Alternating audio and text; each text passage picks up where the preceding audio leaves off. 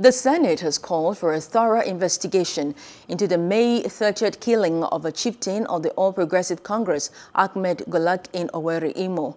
The Senate's resolution was sequel to a point of order raised by Deputy Senate President Ovie Omo-Agege during plenary on Tuesday. Raising Order 43 of Senate Standing Rule, Omo-Agege also, the chairman Senate Committee on Constitution Review, argued and urged security agencies, especially the Department of State Services, to thoroughly investigate towards ensuring that the perpetrators were brought to book. President of the Senate, Ahmed Lawan, said there was no need for debate on the issue. A minute of silence was also observed in honor of the deceased.